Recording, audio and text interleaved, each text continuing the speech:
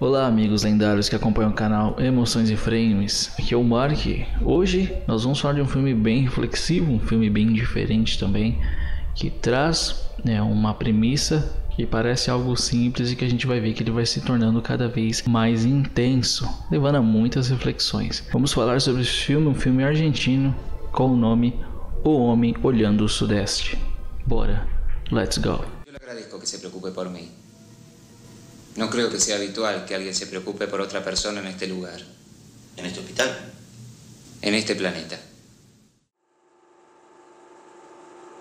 O filme se inicia num hospital psiquiátrico, né, um manicômio, onde há várias pessoas ali sendo tratadas e um doutor, um doutor que ele também tem um grande problema, né, na sua vida pessoal e naquilo que ele faz. Digamos que ele já está com um desgosto completo pela vida. Nesse contexto, ele tinha lá seus 32 pacientes e aparece um 33. E aí você vai ficar pensando assim como que a referência desse filme tá forte em vários detalhes, né? 33. Isso não te lembra a idade de alguém, né? Creo que cometí un error al asumir su papel. No debió haberme dicho que era un habitante de otro planeta. Debió haberme dicho que era Cristo. Mi versión hubiera sido distinta. Su reacción hubiera sido la misma. Então começa já com essa premissa. Isso foi uma coisa que eu percebi, eu não achei em nenhum lugar. Pode ser que tenham citações sobre isso. Mas esse paciente novo chega e ele alega que ele veio de um outro planeta. Como ali é um manicômio, primeiro espanto do doutor é falar de onde você veio e como que você entrou nesse hospital sem vir de alguma origem, de algum lugar. Né? Ele apenas apareceu uma cama nova ali e esse paciente estava lá ocupando esse lugar e é isso que gera a maior estranheza do, do doutor, né? Doutor Júlio, ele que fica com esse com essa dúvida, né, do que que esse paciente de onde veio esse paciente o que ele realmente quer.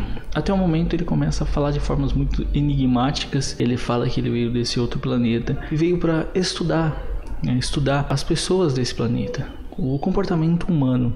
Como se fosse mesmo um extraterrestre ou algo assim. O mais legal é que esse filme, né, ele é um filme de 1986, para ser preciso aqui, com a direção do Eliseu Subiela. Ele tem uma câmera, né, da época, assim, que eu acho que ficou ótimo, porque parecia um documentário, até um negócio não parece mesmo um filme. Você vê aquilo como se fosse um registro de algo. As câmeras bem assim da época mesmo, bem simples. Nesse contexto que eu estava mencionando a vocês, ele começa a ter várias entrevistas com esse paciente que ele, na premissa que ele achou que ele era um criminoso e que estava se escondendo dentro desse manicômio. Conforme ele vai conversando, checa os registros dele e não acha nada. Inclusive ele pega até tem uma cena que ele pega as digitais dele com a polícia para verificar a procedência de onde ele veio, quem ele é e nada é descoberto também, que começa a gerar muitas dúvidas. A conversa com ele é sempre alguma coisa enigmática sobre a as relações humanas, sobre os sentimentos, sobre sensações, coisas que ele falam para esse doutor acabam impactando na vida dele. Ele está há anos, faz 15 anos de profissão,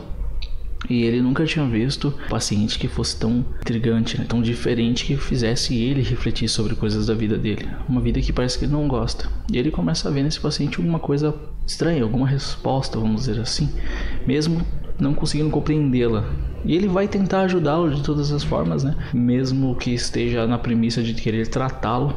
Esse paciente que vai ajudando as pessoas à sua volta começa a ser seguido pelos outros pacientes. E muita gente começa a meio que venerá-lo em um certo ponto, né? Esses pacientes, a não ser a comissão, as outras pessoas por fora, os se você vê aqui tem uma analogia também as pessoas grandes de influência, uma parte da massa, da mídia, por exemplo, né?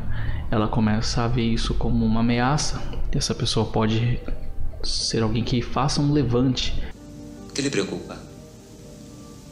Si yo fuera el presidente de una potencia y tuviera bajo mis órdenes ejércitos poderosos, entendería su preocupación. Pero no. Estoy en un manicomio. E ele é considerado pelas pessoas próximas dele como uma pessoa muito boa. E ele quer que as pessoas tenham qualidade, tenham comida, quer que as pessoas fiquem bem. Que ele falou, quando alguém fala, eu escuto. Quando alguém precisa de ajuda, eu ajudo. Ele fala esse tipo de coisa. Você vê essa analogia, tem um lado religioso, né? O personagem principal aí do cristianismo. Então, só que não fica claro isso. Há essa ligação, ele se denomina como um extraterrestre apenas. Não há uma ligação religiosa direta. Então, essa estranheza do filme, mas linkado a isso, começa a gerar muitas dúvidas e muitas coisas que ele fala vai te gerar uma grande reflexão em vários pontos. Conforme vai passando o filme, eles começam a vê-lo como uma ameaça, como eu disse, mesmo estando ajudando em vários pontos.